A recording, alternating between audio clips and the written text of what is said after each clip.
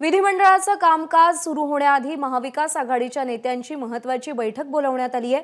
अजित पवार जयंत पाटील अशोक चव्हाण एकनाथ शिंदे सुभाष देसाई अनिल परब या बैठकीला उपस्थित राहणार आहेत. अधिवेशनामध्ये विरोधकांना आक्रमक प्रत्युत्तर देण्यासंदर्भात आघाडीची रणनीती या बैठकीमध्ये ठरणार असल्याचं कळत आहे निलेश बुधावले आपले प्रतिनिधी सध्या आपल्यासोबत आहेत. निलेश कालचा दिवस आपण सगळ्यांनीच अनुभवला पाहिला. ओबीसी आरक्षणाचा मुद्दा आज केंद्रस्थानी असू शकतो. सत्ताधाऱ्यांच्या गोटामध्ये काय हालचाली?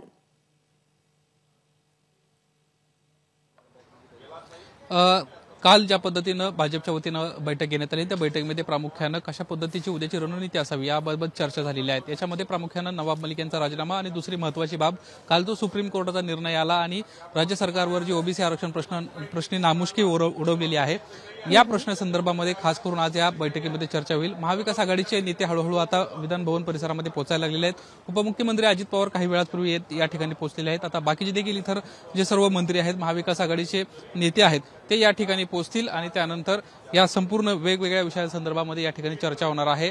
ज्या पद्धतीनं भाजपकडून आक्रमक पवित्रा कालपासूनच घेतला गेलेला आहे आरक्षण प्रश्नी तर याला कशा पद्धतीनं आपण उत्तर दिलं गेलं पाहिजे यावर खास करून ह्या बैठकीमध्ये चर्चा होणार असल्याची माहिती मिळते. भाजपकडून सातत्यानं ओबीसी आरक्षण प्रश्नी राज्य सरकारवर अशी वेळ सातत्यानं काय येते राज्य मागासवर्गीय आयोगाला ज्या पद्धतीनं डेटा देऊन अहवाल सादर करायला सांगितला होता तो अहवाल नेमका अ, हा सुप्रीम कोर्टानं का नाकारला? कोणकोणत्या त्रुटी त्याच्यामध्ये होत्या? या बाबतीमध्ये आज भाजप खास करून महाविकास आघाडीला घेरणार आहे आणि याचीच उत्तरं आता कशा पद्धतीनं द्यायची या संदर्भातली ही चर्चा या बैठकीमध्ये असेल प्रज्ञा. निलेश या बैठकीसंदर्भातले अपडेट्स घेत राहू तुझ्याकडून सध्या धन्यवाद माहितीसाठी. एबीपी माझा. उघडा डोळे बघा नीट.